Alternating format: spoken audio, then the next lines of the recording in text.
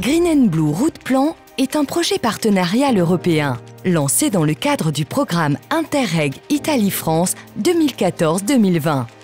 Six territoires sont concernés par le programme. En Italie, la Ligurie, la Sardaigne et la Toscane. En France, les Alpes-Maritimes, le Var et la Corse. Green and Blue Route Plan compte cinq partenaires. L'organisme italien Navigo, pilote du projet, trois partenaires italiens et l'unique partenaire français, la Chambre de commerce et d'industrie Nice-Côte d'Azur.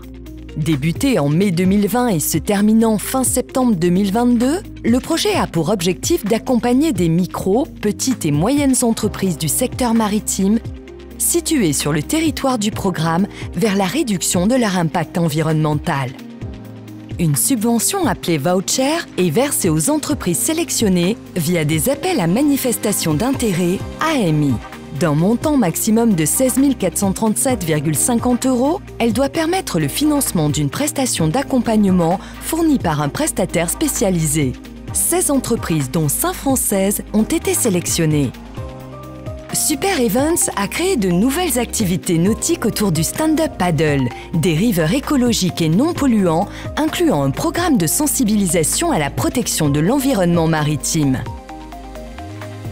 Winpulse Technologies a étudié l'opportunité d'une solution offshore de production d'énergie 100% décarbonée, de source éolienne au bénéfice des activités économiques de la filière maritime et portuaire.